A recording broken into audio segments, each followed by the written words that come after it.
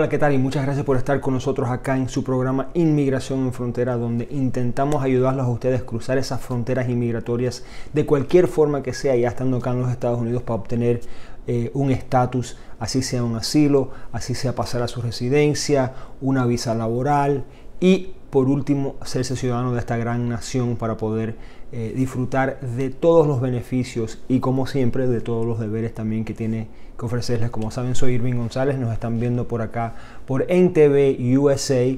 Quiero dejarles saber que si quieren comunicar con nosotros pueden hacerlo a través de las redes sociales de NTV USA, al igual que las redes sociales mías que serían eh, arroba Irving Abogado o arroba abogado Irving. Una de las preguntas que tenemos que queremos abordar hoy es la siguiente. La persona nos escribe y dice, soy cubano, me dieron un parol y estoy aquí ya hace nueve meses. Ya puedo comenzar mi proceso para obtener la residencia a través de la ley de ajuste cubano. Muy buena pregunta y le quiero decir felicidades porque dieron un parol. Como sabemos lamentablemente a muchos cubanos que están ingresando en estos momentos a los Estados Unidos no les están dando parol. Eh, muchos de ellos están siendo detenidos. Eh, algunos pueden salir eh, con una fianza otros salen pudiendo haber ganado un asilo político la minoría de los casos y otros lamentablemente están esperando todavía en México eh, para el programa para poder eh, tener audiencias con un juez de inmigración a ver si los va a dejar entrar a los Estados Unidos como asilado político. Pero en el caso suyo, usted gracias a Dios ya tiene su parol.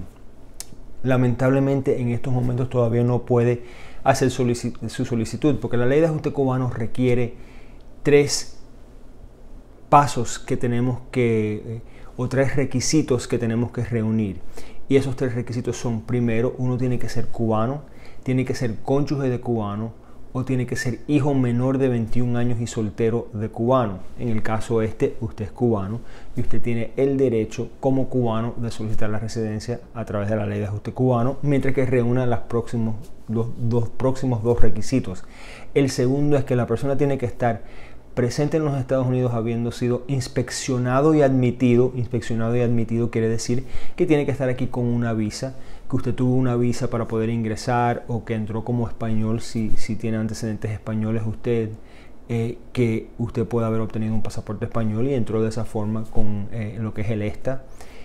O la otra sería si la persona está presente en los Estados Unidos con un parol. Ese es el caso suyo. Usted tiene un parol.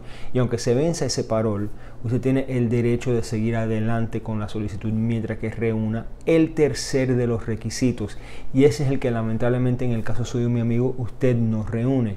Ese requisito nos dice que la persona tiene que estar presente en los Estados Unidos un año y un día o más de un año es lo que dice la ley. Más de un año y de ahí viene la frase el año y un día porque al año y un día puede hacer la solicitud pero tiene que estar presente en los Estados Unidos un año, eh, más de un año para poder ser elegible a hacer su solicitud. Entonces, usted no es elegible y es verdad.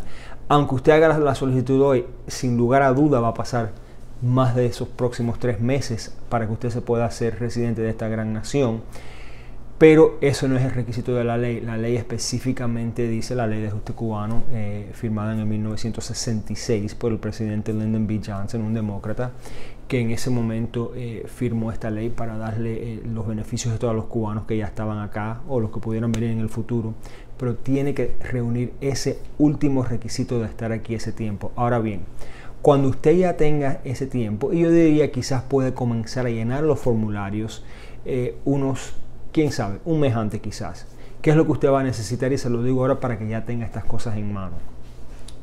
Primero usted va a tener que mostrar que usted es cubano, es cónyuge de cubano o es hijo menor de 21 años y soltero de cubano, porque eso es lo que requiere la ley. En el caso suyo usted es cubano, pero vamos a tocar cada una de ellas.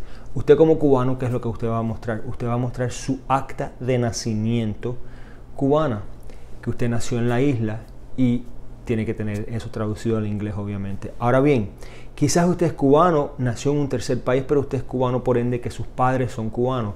En ese caso usted tuviera que tener documentación que muestra que sus padres, los dos son cubanos, que usted es reconocido como cubano, con una acta de nacimiento de un cubano nacido en el exterior. Y muchos casos piden también que muestre su pasaporte cubano para mostrar que usted pudo obtener un pasaporte cubano, eso muestra que es cubano. Eso es si la persona es cubana, si es cónyuge de cubano si la persona está casada con un cubano y que ese cubano obtuvo la residencia a través de la ley de ajuste cubano o puede haberla obtenido y aún sigue siendo residente, eso es bien importante porque si su cónyuge se hace ciudadano americano durante el transcurso de ese tiempo, usted pierde el derecho a la ley de ajuste cubano, tuviera que seguir adelante con un proceso nuevo que sería una petición familiar. Entonces, si usted puede mostrar que es cónyuge de cubano, está casado con un cubano, ese cubano es residente, obtuvo la residencia a través de la ley de ajuste cubano, que las siglas en su tarjeta de residencia serían CU, las primeras dos letras de cubano, y el número 6, quiere decir que esa persona obtuvo la residencia a través de la ley de ajuste cubano. Entonces usted pudiera seguir adelante con un proceso. El otro es ser hijo menor de 21 años y soltero de cubano. Eh, un cubano emigró a cualquier otro país, tuvo un hijo en ese país, no pudieron darle eh, un estatus legal eh, que mostrara que es un cubano nacido en el exterior, por cualquier razón, porque quizás la madre del muchacho eh, sea, por ejemplo, venezolano, un cubano emigra a Venezuela, se casa en Venezuela o va como bien joven a Venezuela, tiene un hijo allá, logran venir para acá, mientras que ese hijo tenga menos de 21 años, sea soltero, y el padre sea cubano a través de la ley de ajuste cubano, la residencia, o en el momento esté también tramitando con su hijo, puede también hacerlo.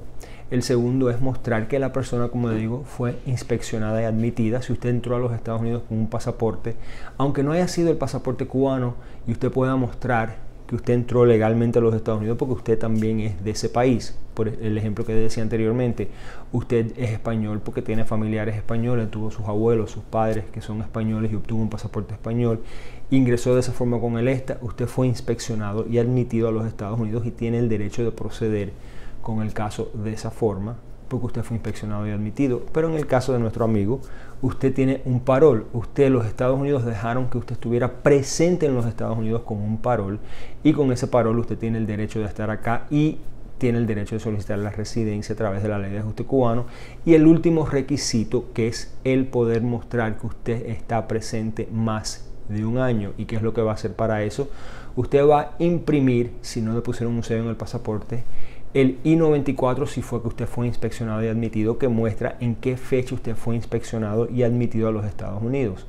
Si es el caso como este del parol, usted va a mostrar con ese parol que usted dieron un parol en cierta fecha. Ahora bien, si usted ingresó quizás a los Estados Unidos y estuvo detenido por dos o tres meses, no es la fecha que le dieron el parol, es la fecha que usted ingresó a los Estados Unidos porque la ley dice usted tiene que estar presente en los Estados Unidos más de un año. No dice que el parol tiene que haber sido por más de un año. Usted tiene que estar presente, entonces usted tuviera que mostrar con los documentos que le prohibieron en la corte, mostrar yo ingresé a los Estados Unidos en tal fecha, aquí está el documento que muestra y aquí está mi parol. Aunque no tengan la misma fecha, eso no importa, es la fecha en la cual usted ingresó a los Estados Unidos que comienza a contar ese plazo de un año y un día y entonces tener el parol para mostrar que usted está presente con un parol. Ahora bien, todos los documentos que usted tenga en español tienen que ser traducidos al inglés, que en este caso va a ser el acta de nacimiento o cualquier otro documento que pudiera tener.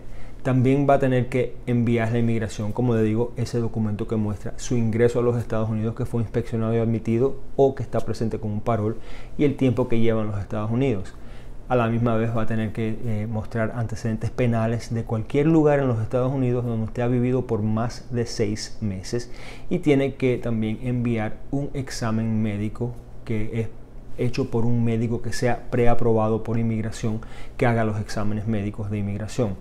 Usted cuando reúna todos estos requisitos y ya tenga su año y un día, usted puede enviar todo a inmigración va a llenar un formulario del I-485 que es para el ajuste de estatus y también el I-765 que es para su permiso de trabajo. Usted no tiene que llenar el formulario I-944 que es para mostrar que no va a ser carga pública en los Estados Unidos porque eso no es un requisito que tienen los cubanos en estos casos. Usted no tiene que llenar un I-130, no tiene que llenar un affidavit de manutención, no tiene que mostrar nada económico. Usted solamente tiene que mostrar que es cubano, que es hijo menor de 21 años y soltero de cubano o que es cónyuge de cubano que fue inspeccionado y admitido, está presente con su parol y lleva más de un año y un día en los Estados Unidos y de esa forma usted va a poder obtener su residencia a través de la ley de ajuste cubano y ojo, cuando llegue la residencia esa, chequee la fecha porque la fecha que le dan tiene que ser retroactiva a la fecha que usted ingresó a los Estados Unidos o válida por 30 meses, la que sea más temprana por si acaso usted espera mucho tiempo en hacer la solicitud. Pero si lo hace al año y un día, se lo van a dar retroactivo a la fecha que usted ingresó a este país, que quiere decir que cuando llegue la tarjeta de residencia ya tiene todo ese tiempo acumulado para poder eventualmente hacerse ciudadano de los Estados Unidos. Espero que esto le dio a usted la respuesta completa a su pregunta.